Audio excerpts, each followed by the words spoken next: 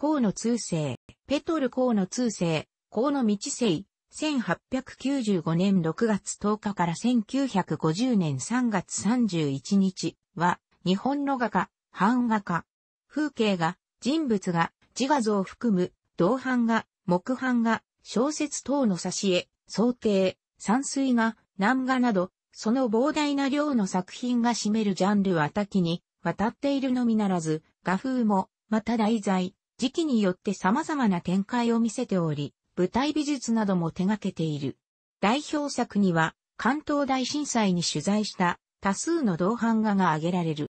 父の河野二郎、下野国足利藩士、旧姓、杉本、生命、アレクセイは、長野主犯学校の図画教師も務め、高橋雄一の門下で洋画の普及、教育に尽力した洋画家であり、後に写真家となった熱心な聖教徒であった。通世も9歳の時に聖教の洗礼を受けた。ペトルはこの時受けた声明。このことから、キリスト教、聖教に題材を取った作品も数多い。白樺派の武者の工事実厚との交流、岸田流星が率いていた、総土者への参加といった同時大臣との関係も注目される。岸田の遺品の中にも、通世の作品があった。22歳まで長野に暮らした出生地については、長野県上美野地郡長野町座南県庁、長野市南長野という説と、父の本籍地群馬県沢郡伊勢崎町、伊勢崎市という説がある。小学生時代に学校から許可を得て開催された展覧会を3学年年長の草川新と指揮するなど、幼少の頃から美術に才能を発揮する一方で、友人たちと野球をし、裾花川で水泳をして遊び、中学時代には野球部に所属して5年生時には首相も務める面もあった。大正半ばに東京に移り住むまでの作品のほとんどは、裾花川とその周辺を題材にした風景画である。1911年頃から見られる、この題材に関連する作品の中でも、1914年から1916年にかけての3年間の作品は、それまでの写生的な様相から一変し、必要で、うねるような筆色が独特なものとなっている。1913年、中学4年生時に、上高地に友人と出かけた時に、高村光太郎と同宿となって出会った。高村光太郎からは、批評を受け、後に上京する際には尋ねる仲となった。1914年には関根商事の訪問を受け、関根には大きな影響があったとされる。1914年、大正3年3月、旧制長野中学を第14回生として卒業。同年10月、第1回二課展に初入選。この頃から長与義郎、土屋増次郎らを頼り上京するようになる、一時的、滞在。通世が岸田流星と初めて出会ったのは1915年、大正4年のことであるが、長野にいる頃から岸田のことは知っていたとされる。肖像画から代々木の草と土を克明に描く風景画へとシフトしていた岸田流星は最新の西欧美術を吸収していた日本の美術状況の中で厳しい批判を受けつつも木村総八らと共に総土社を創設し新たな出発をしていた。デューラーといったルネサンス美術に興味を移していた。通世は自分と同じ思考を持つ岸田を強く意識しており、岸田の家に素描を持って行って、批評を受けてもいる。岸田に才能を認められ、1916年、大正5年の第3回ソード社展に素描を出品。第6回ソード社展からは同人に加わり、最終回の第11回まで出品をした。ただしその題材は、宗教が、挿絵等が多く、岸田流星、椿貞夫、木村総八といった他のメンバーのような、ソード社に典型的な風景画はほとんどなかった。この頃の作品には自画像、肖像画も多い。同年の二課展に入選を果たしたほか、1917年、大正6年の文展にも入選する。大正の半ばから後半にかけて、聖教の聖殿に題材を取った絵画、聖書の場面を描いた絵画や、聖書の挿絵など、キリスト教に題材を取った作品が数多い。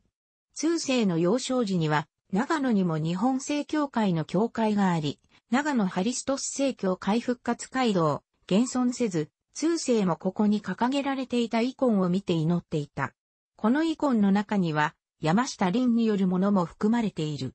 1919年の白樺主催の聖書総画展覧会では、通世の64の作品が展示されている。この題材には、油彩画も少なくないが、ペン画や墨で描かれた作品が多い。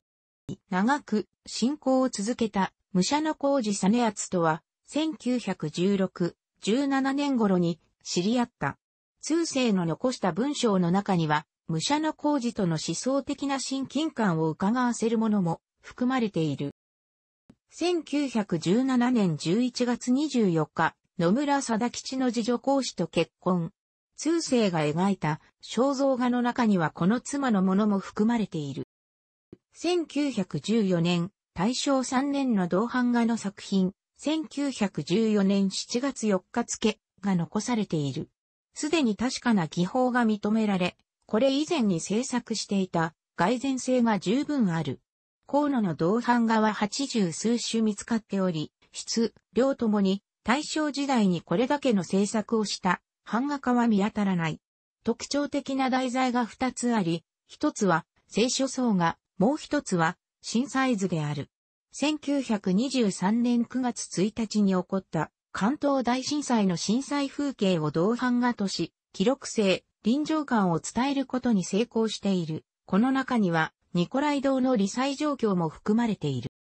1923年の関東大震災で、震災の打撃を受けた総土社が活動を停止し、岸田が京都に移住した頃以降、浅草など東京の現代的な風俗を描いたトロエや浮世絵の題材などの芝居関連の作品が増えてく。総土社活動停止以後の活動を春陽会に求めたが、2回出品しただけで、岸田流星と共に脱会。武者の工事実篤らが創設した大長和会展、椿貞夫らが参加していた国画会などで作品を発表していく。カリカチュアの分野にも興味を示し、多くの作品が残されている。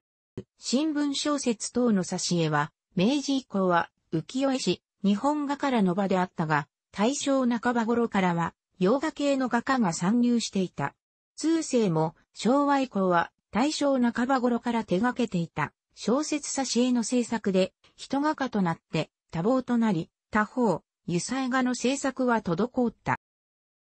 通世の最初の挿絵は1920年、大正9年のソード社展に出品した長代義郎の戯曲、幸雨と流法である。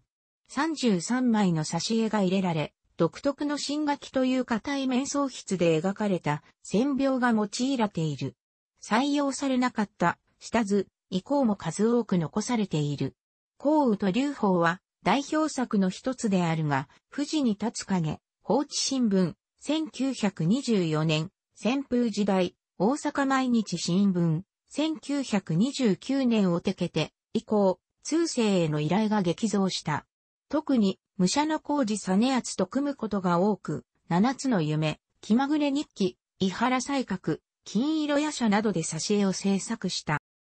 1921年に長野ハリストス正教会が廃止されているが、通世の正教会との結びつきは途絶えず、1927年9月には、聖教時報の表紙絵を描いている。また、同年、日本木版印刷から、新錦絵今用歌舞伎四代という木版画のシリーズを、岡本一平、鳥居清忠、冠城清方と共に発表している。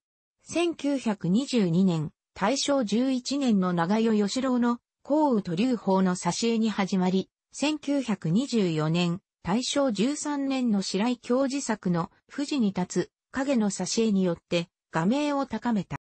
1924年の春陽会、1927年、昭和2年の大調和会、1929年、昭和4年の国画会に参加している。以降、没年まで所属していた。晩年、1941年、昭和16年には大東南周囲に参加。本格的に南画を始める。水墨画の作品もかなりの数が残されている。1945年、昭和20年に、武者の工事実厚主催の新しき村美術展の創立委員取り参加する。